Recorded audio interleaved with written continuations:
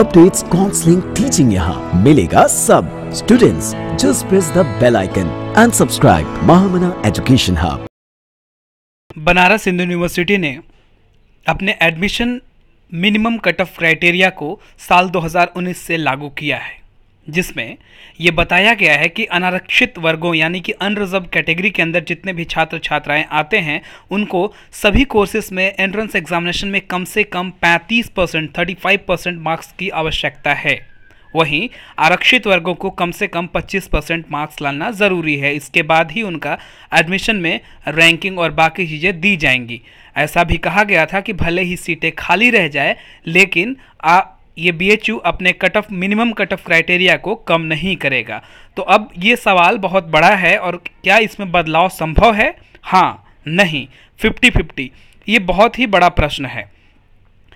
छः जून 2019 को एक बड़ी मीटिंग की गई थी, जिसमें वाइस चांसलर और कई अलग दूसरे यूनिवर्सिटी के भी महान प्रोफेसर्स आए थे, जिसमें ये निर्णय लिया गया था कि सामान्य वर्ग को 35 आरक्षित वर्ग को 25 अंक ज़रूरी है। तेईस नए गोल्ड मेडल भी लागू किए गए थे और उसके आधार पर ये चीज़ ये बताया गया था कि भले ही सीटें खाली रह जाए, लेकिन ये मिनिमम कट ऑफ़ क्राइटेरिया को कम नहीं करेंगे। अब मेरे हिसाब से ये कहना अनुचित नहीं होगा कि काशी हिंदू विश्वविद्यालय ने लगभग कोर्सेज के रिज़ल्ट आउट कर दिए हैं, चाहे वो यूजी हो, पीजी हो। लेकिन एक समय में यूजी में तो लगभग सभी कोर्सेज में सीटें फुल हो जाएँगी 35 परसेंट और 25 परसेंट एलिजिबिलिटी के बाद भी। लेकिन पीजी में कुछ ऐसे कोर्सेज हैं जिनके विद्यार्थी, जिनमें अपेयर होने वाले विद्यार्थी हमें बार बार मैसेज और व्हाट्सएप पे व्हाट्सएप कर रहे हैं कि, सर जैसे B S C M S C mathematics में। एम एस सी मैथमेटिक्स में सीटें लगभग सौ से ज़्यादा है 110 के करीब में है।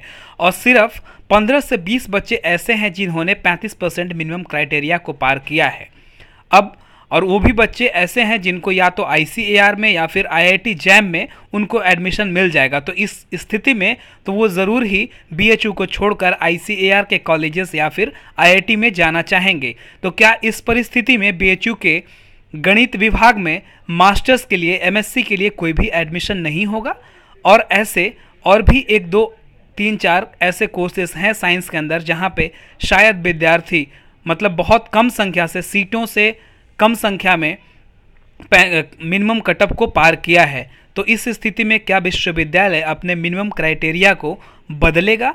क्या उसे कम करेगा? या अपनी सीटें खाली ही छोड़ देगा?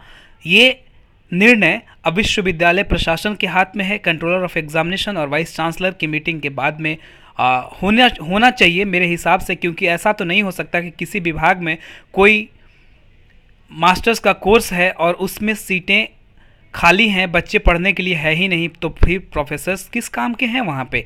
आखिर तो बच्चे पढ़ने चाहिए उसमें अगर वो कोर्स बना है और बच्चों का एडमिशन होगा आखिर ये सेंट्रल यूनिवर्सिटी है तो उसमें बच्चे वो भी मैथमेटिक्स जैसा विषय जो कि बहुत ही ज़्यादा मांग पर है, जिसमें प्लेसमेंट्स हैं और काफ़ी ज़्यादा रेप्यूटेड भी है इंस्टीट्यूट ऑफ़ साइंस का ये मैथमेटिक्स विभाग, गणित विभाग। तो उसी हिसाब से अब देखते हैं क्या निर्णय देता है विश्वविद्यालय प्रशासन। कृपया करके इस वीडियो को मैक्सिमम लोगों तक शेयर कीजिए। और अगर इस चैनल को पहली बार आप देख रहे हैं तो सब्सक्राइब भी कर लीजिए। Regards Mahamana education hub thanks for watching and all the best for bright future God bless you all young ladies and gentleman